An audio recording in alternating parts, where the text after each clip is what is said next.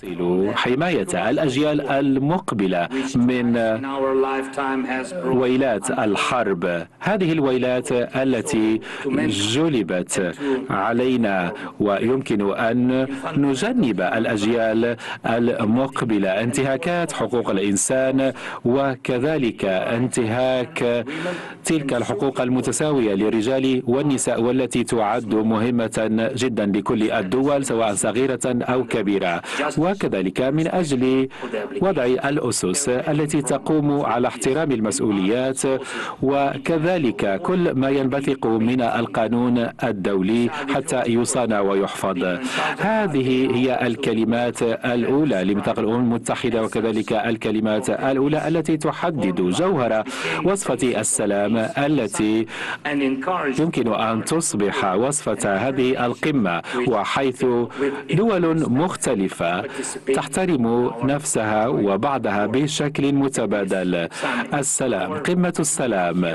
وحدتنا هنا تثبت بأن فكرة النظام الدولي والقانون الدولي ما تزال حية وفاعلة.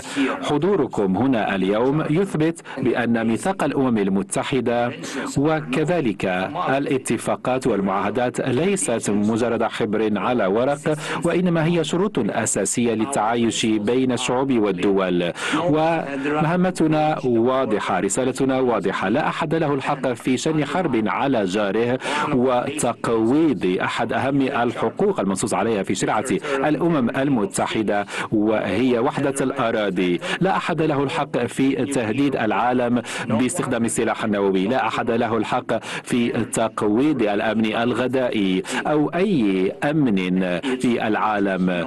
ولا أحد له الحق في اختطاف أطفال أمة أخرى. لا أحد له الحق في تقويض السلام. نحن قادرون على ضمان فاعلية وكفاءة هذه القيم. فهذه القيم مهمة عالميا وأنا ممتن لكم أيتها السيدات أيها السادة ممثلي الدول والمنظمات الدولية. ممتن لكم لإثبات بأن العالم لا يمكن أن يتحول إلى عالم لا تحكمه القوانين. هذا العالم الذي تريد روسيا تجلبه علينا لمدننا ولقرانا وحيث الكثير من المدن والقرى دمرت للأسف بشكل كامل من قبل روسيا بصواريخها وقنابلها. بوتين قتل الآلاف من مواطنينا لماذا؟ لأنه أراد أن يجتاح دولة أجنبية. لا أتمنى ذلك أن يحدث لأي منكم. آمل لكل دول العالم لكل الأطفال لكل الأسر والعائلات أن تعيش دون حرب. وأنا أريد هذا لكل الأوكرانيين. كذلك الأوكرانيون لهم الحق في السلام على غرار جميع الحاضرين معنا هنا. والسيدات والسادة علينا أن نوقف هذه الحرب بناء على ميثاق الأمم المتحدة على القانون الدولي على مصلحة الشعب الأوكراني وبناء على فكرة احترام كرامة الإنسان وحقوق الإنسان وليس الحرب. سأركز على ثلاثة مواضيع كما قالت السيدة رئيسة سويسرا. دون استثناء النقطة الأولى هي السلامة النووية النقطة الثانية الأمن الغذائي النقطة الثالثة إطلاق السجناء وكذلك الذين يراد ترحيلهم وكذلك المدنيين الذين مزقت حياتهم بسبب الحرب. هذه المواضيع ستكون أساسية في نقاش مناقشتنا وسنعمل عليها من أجل أن نتوصل إلى اتفاق ونضع خطة عمل توصلنا إلى وصفة للتنفيذ. وهذه القمة تشمل ثلاث جلسات نقاشية حيث سيكون هناك دول ستتحدث ووصفة السلام هي شاملة ودامجة. ونحن مستعدون للعمل على كل مقترح ومناقشته كل فكرة يمكن أن نناقشها. كل كل ما نحتاجه من أجل تحقيق السلام وكل ما تريدون. أطلب منكم أن تتفاعلوا معنا وأنا سعيد بأن كل دول العالم من كل القارات هنا ممثلة في قمة السلام هذه. نحن تمكنا من تفادي أفظع الأشياء التي يمكن أن تحدث للبشرية. وهي هذا التكتل والتبلقن. هنا مشاركون من أمريكا اللاتينية إفريقيا أوروبا الشرق الأوسط وآسيا الباسيفيك المحيط الهادي وأمريكا الشمالية قادة دينيون 101 مشارك ولا أحد يمكن أن ينكر أن هذه تعكس تعدد الأقطاب. وهذا أمر بطبيعة الحال يجعلنا نؤكد أن تعدد القطبية هو السبيل هو السبيل لحل الأزمات والنزاعات. لا يمكن أن نضمن مختلف مظاهر أمننا دون أن نفعل ذلك بشكل متعدد القطبية. نريد أن نواصل الدفاع عن سيادة الأمم وحدة أراضيها والمساواة وكذلك تكافؤ بين الشعوب.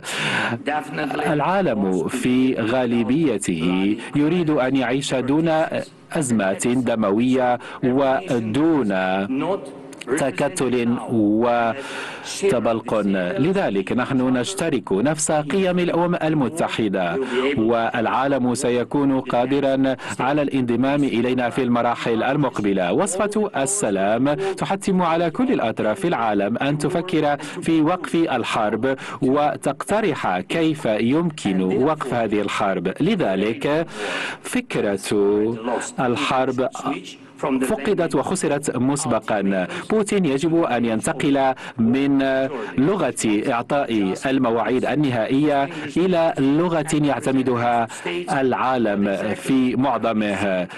هذه القمة للسلام. ما الذي يمكن أن تقدمه؟ أن تقدم أن العودة إلى السلام هي أمر ممكن. سنعمل معكم وفق الخطوات اللازمة. ثانيا سنعمل على جعل كل خطوة في اتجاه السلام السلامة النووية أمن الغداء وكذلك إطلاق سراح السجناء وتبادلهم أمرا محققا وذلك دون أن يحدث ذلك على حساب أشياء أخرى. رابعا ليس هناك حاجة لإعادة صنع العجلة لأن ميثاق الأمم المتحدة يحدد مسبقا أسس السلام وكذلك أسس التعايش بين الشعوب. علينا فقط أن نلتزم بهذا الميثاق. الميثاق ولذلك علينا أن نقرر كيف ستتعاون الدول مع بعضها ومن سيكون معنا في قيادة هذا المسعى وكيف سنطبق خطة عملنا المشتركة. هذا واضح وهذه الأهداف محققة وقابلة للتنفيذ. ليس هناك روسيا معنا. لماذا؟ لأنه إذا كانت روسيا مهتمة بالسلام لا ما كانت الحرب لتكون. علينا أن نقرر معا ما معنى السلام العادل. وكيف يمكن تحقيقه حتى يكون نهائيا.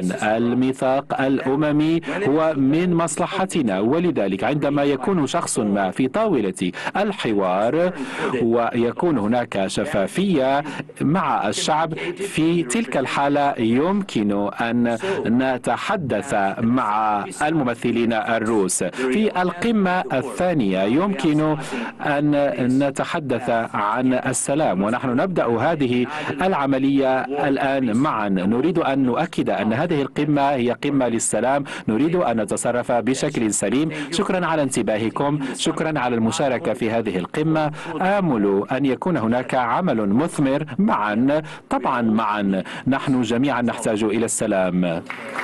المجد لأوكرانيا.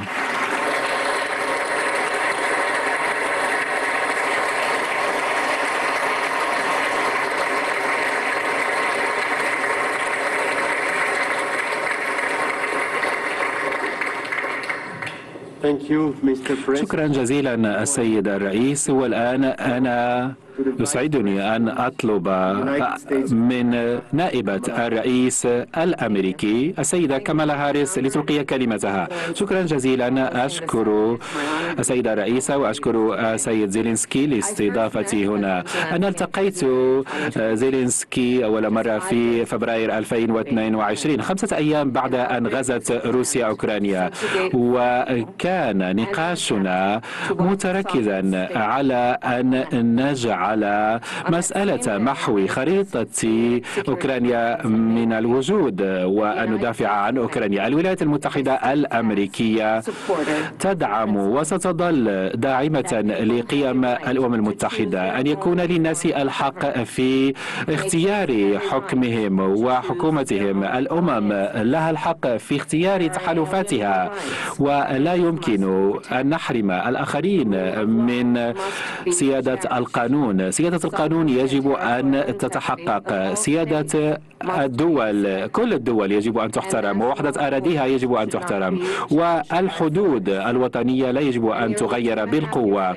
بعد نحو عامين ونصف أنا معكم لأجدد تأكيد الولايات المتحدة الأمريكية بهذه القيم وكذلك التزامنا بشكل لا يتزعزع لدعم الشعب الأوكراني وإدانة الغزو الهمجي لروسيا. كما ناقشت مع رئيس زيلينسكي قبيل قليل أنا والرئيس بايدن قلنا إننا ملتزمون ب تطبيق القانون الدولي والأعراف الدولية وكذلك مواجهة المستبدين وكذلك الوقوف إلى جانب حلفائنا وشركائنا. هذه المقاربة قدمت لي الأجيال تلو الأجيال الأمن والاستقرار وهي ما تزال قادرة على فعل ذلك. هذه القيم تجعل أمريكا قوية وآمنة وهذه المقاربة ستعزز الاستقرار الدولي.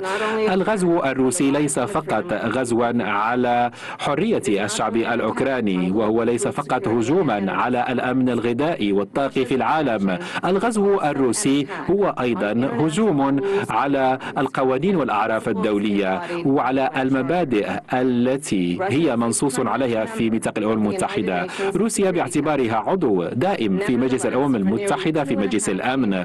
بعد نحو عامين ونصف قامت بانتهاك الأعراف الأساسية لهذا الميثاق عندما يقوم طرف باجتياح دولة جارة فإن المعتدين الآخرين سيتجرؤون أكثر. هذا يعني أن الحرب قد تتكرر وستؤدي إلى الفوضى وليس إلى الأمن والاستقرار وهذا يهدد كل الأمم. الرئيس جو بايدن وأنا سنواصل دعم أوكرانيا وسنستمر في جعل روسيا تدفع الثمن. سنستمر في العمل من أجل تحقيق سلام دائم ومستدام بناء على قيم الأمم المتحدة وميثاقها وبناء على رغبة وإرادة الشعب الأوكراني. السيد زيلينسكي أمريكا تتشارك معكم رؤية إنهاء هذه الحرب ووقف معاناة الشعب الأوكراني.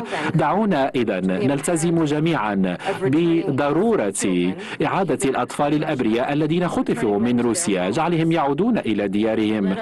ودعونا كذلك نتفق على أن يكون هناك منافع واقعية لهذه القمة للسلام. أن نعزز الأمن الغذائي وأمن الطاقة. ودعونا كذلك نجعل هذه الحرب تتوقف. وبالمقابل دعوني أقول إن بوتين وضع أمس مقترحا. لكن دعونا نكون صادقين. هو لا يطلب المفاوضات وإنما يطالب من أوكرانيا أن تستسلم. الولايات المتحدة الأمريكية لا تدعم أوكرانيا كصدقة وإنما تفعل ذلك خدمة لأمنها القومي ومصلحتها. نحن أيضا لدينا مصلحة في أن يعم السلام في أوكرانيا. ودعونا لا نشك أن هناك أساليب مختلفة في طريقة العمل هناك تحديات عديدة نواجهها. لا نتفق دائما نختلف. هذا صحيح. لكن بالنظر إلى الحرب غير المبررة من بوتين على أوكرانيا حصل هناك إجماع وتضامن لدعم القيم الدولية والأعراف العالمية. أنا والرئيس بايدن هذه مهمتنا الأساسية أن نحفظ القوانين الدولية والنظام الدولي ندافع عنها ونروج لها ونعززها. وما من شك في أن هذه القيم هي أولوية لنا جميعا. شكرا جزيلا.